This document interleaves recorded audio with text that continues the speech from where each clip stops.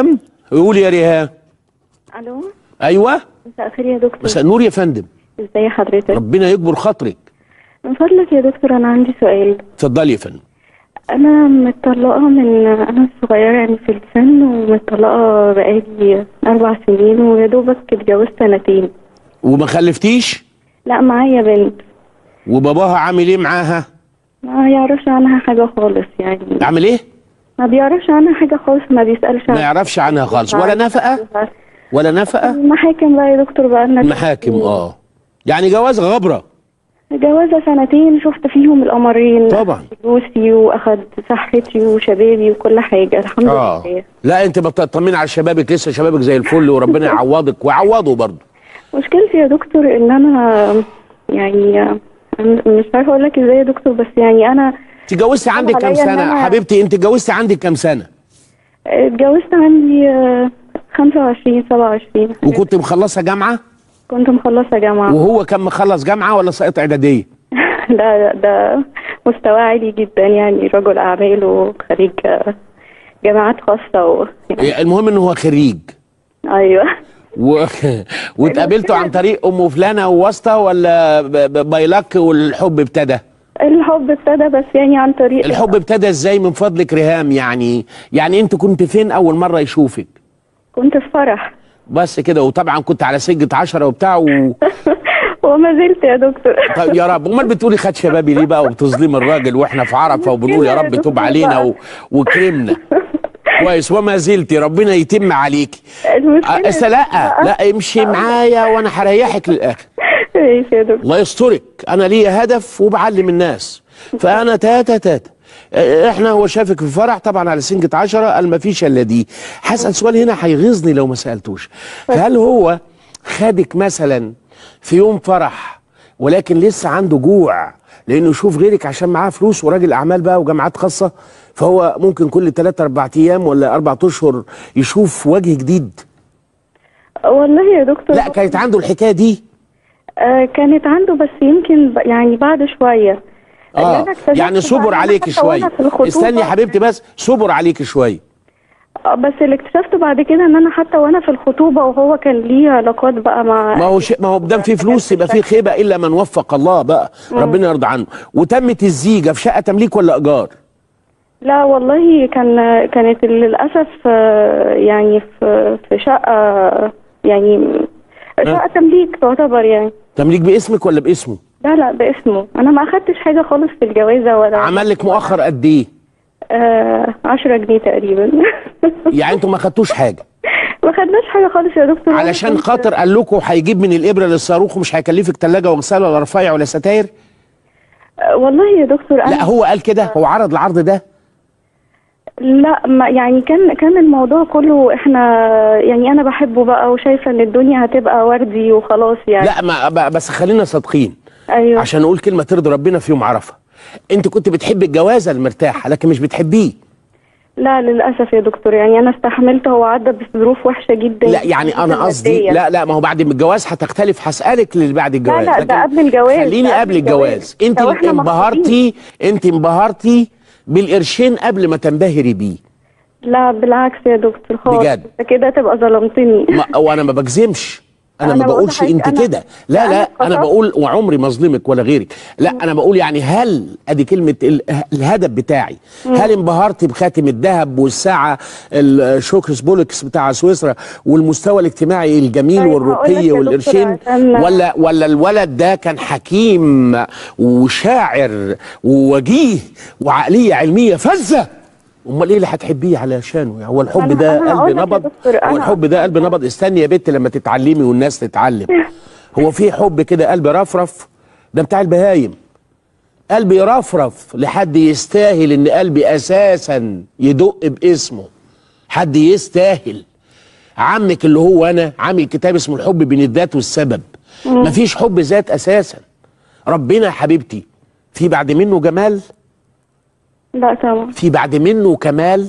لا طبعا. حلو قوي. في بعد منه ذات مقدسة؟ أكيد لا. ومع هذا قال حبوني لإني بأكلكم. صحيح. يبقى جاب لنا سبب نحبه عشانه وهو يطعم ولا يطعم. أنزل من السماء ماء لكم فليعبدوا رب هذا البيت. اللهم زده تشريفا وتعظيما يا رب الذي أطعمهم من جوع وآمنهم من خوف. اللي خلق الخلق قال حبوني ليه اعبدوني ليه عشان بأكلكم. بعد الجواز إيه اللي حصل؟ حصلت مشاكل يا دكتور وما وما ما قدرتش أكمل يعني ولل... ما قدرتيش ليه بقى وأنت بتحبي أهو؟ اسباب كتير يا دكتور يعني آم، أهمها إيه يا حبيبتي؟ أهمها إيه؟ أهمها إيه؟ لكن يعني يعني أنا اتعذبت فبما فيه الكفاية يعني. العذاب ده إيه؟ ما هو؟ ضرب إهانة شتيمة؟ ضرب واخدين فلوس ممكن من فضلك من غير أي إحراج ليكي. تحكي لي مناسبة واحدة من مناسبات الضرب يعني الحوار كان إيه؟ وقام ضرب وضرب بإيه؟ لا أظن يا دكتور مش هقدر أخوض في التفاصيل. لا ما أقصدش. أنا ما بقولش الموضوع أنا بقول جمل الحوار. قلت له اخرس ده الهدف يا بنتي والله. قلت له إيه؟ خلاه يضرب. للأسف كان في في في وجود ناس من أهله. آه. ف حب يثبت إنه راجل قدامهم؟ أكيد آه. آه فقام ضربك بإيه؟ بإيده لطش؟ آه. آه. أذاكي ورم وشك عينيكي حاجة؟ يعني ولا كانت حاجة بسيطة كده؟ لا ما كان روح واعتذر وقال لك حقك عليا وقعد يبوس الرجل والشراب والإيد. بعديها صحيح. بعدها بفترة طويلة. مم. آه وكان مسافر فمش عايز يسافر وأنت زعلانة منه؟ هو كان دايما مسافر يعني. آه لا لا لا أنا عايز أقول لما جه صالحك صالحك ليه؟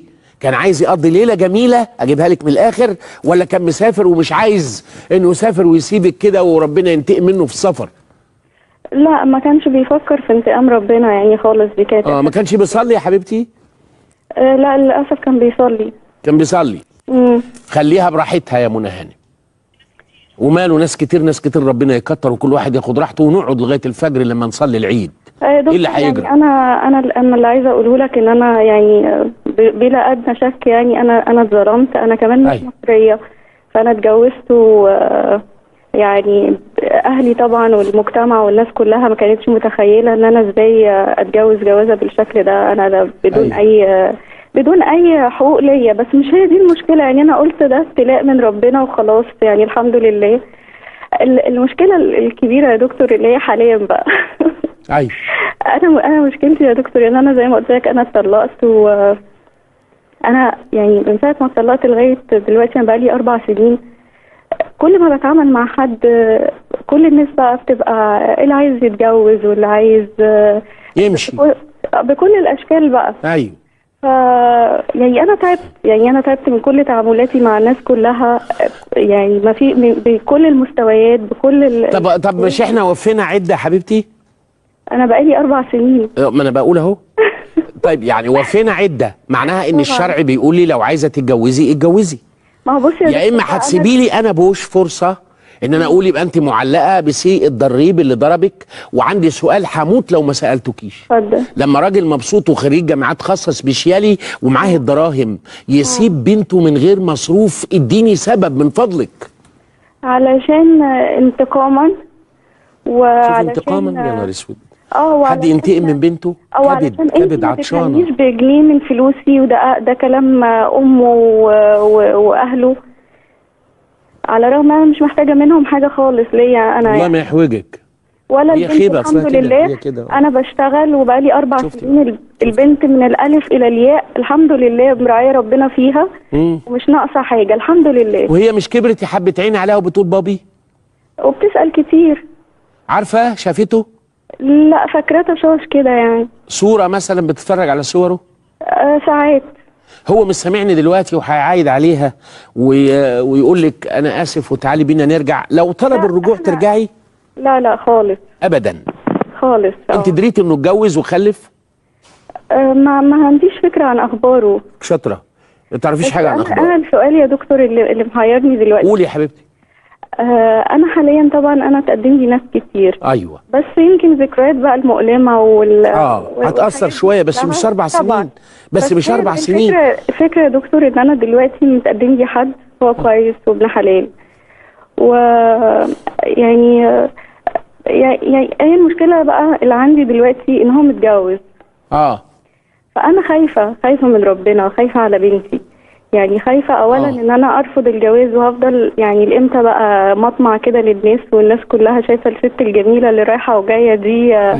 بالشكل ده وأسمع بقى كلام وإطراءات بجميع الأشكال طول الوقت و- وهو هو نفسه شايف كده يعني على الرغم إن هو متجوز بس بيقولي أنا نفسي تبقي في بيتي وأحافظ عليكي وعايزة اصونك وعايزة أربي بنتك والكلام ده. وبيحكي لك إيه بقى عن ظروفه ليه عايز يتجوز؟ يعني لقى واحدة حلوة طب ما هيلاقي واحدة أحلى منك. يعني هو لما يجي يقول لك بيقول لك إيه على البيت القديم؟ يعني على البيت اللي معاه دي كسولة دي مهملة في حقي دي كذا. والله يا دكتور بقى كلام ال- الكلام ده يعني في حدود طبعا ال- ال- ال- اللائق وفي حدود ال- المسموح. شفتي بقى إزاي انت قلتي؟ قلت في حدود اللائق. لو قلت لي آه ده بيقول إن معذباه كنت هقول لك ما تاخدوش. لا أو ما تفكريش إنك تاخدينا ما بقولكيش خدينا ما أعرفوش لا تتدبسي. وتقولي قال لي مبروك عطية في الموعظه الحسنة ويوم عرفة. آه لا دي مصيبة. لا يا حبيبتي نهائي. أصل أنا اللي أنا مؤمن بيه. أعمل إيه دلوقتي يا منى؟ أعمل إيه يا حبيبتي؟ هو السؤال حاضر يا فندم. السؤال قولي. أنا- أنا مشكلتي يا دكتور أنا بقعد أقول يعني آه يعني هل اقبل بالجوازة ولا أنا ابقى زي ما كنت بقول على الستات اللي هي واخدة الراجل من على مراته. أيوه. وأنا بنتي في يوم من الأيام ما هتكبر وتتجوز. هل أرضى إن في واحدة ست تاخد الفكر ده غلط. منها؟ لا لا الفكر ده بتاع مسلسلات. أرضى لبنتي ما ارضاش لبنتي كل واحد وله ظروفه. اولا أنت ما تاخديهوش ولا تاخدي غيره الا إذا كنت فعلا لو ما خدتهوش هتموتي. وهقول لك إزاي مش هبحبه بقى بطلي الكلمة دي. الكلمة دي أيوة. اركنوها على جنب الله يرضى عليكم. قولي آه طبعا. لا لا حب مين؟ أنت عارفه ده لو بيحبك كنت قلت له اسمك إيه؟ كان قال لك عباس وهو محمد. امم ده الحب يا حبيبتي. ولو سابك يموت ده الحب يا حبيبتي. إنما ده راجل عجباه صورة حلوة تبقي في بيتي ها؟ يعني عايز يعلقك برواز. كلمة تبقي في بيتي دي يعني يا بيتي يبقى فيه تحفة. فده راجل فانتازية. الكشف المبدئي. لسه بقى ما دخلتوش المعمل. انت اللي تدخليه المعمل. وتعرفي أخلاقه وأصله وفصله واللي وراه ومدى تمسكه بيكي. وتاخدي حقك الشرعي تالت ومتلت وما انتش second hand ما اسمكيش مطلقة. الواحدة تطلق في الإسلام 14 مرة وتاخد مهر أغلى من مهر البنت البنوت بحسب فعلا. كفاءتها وجمالها وحسابها ونسبها وتعليمها.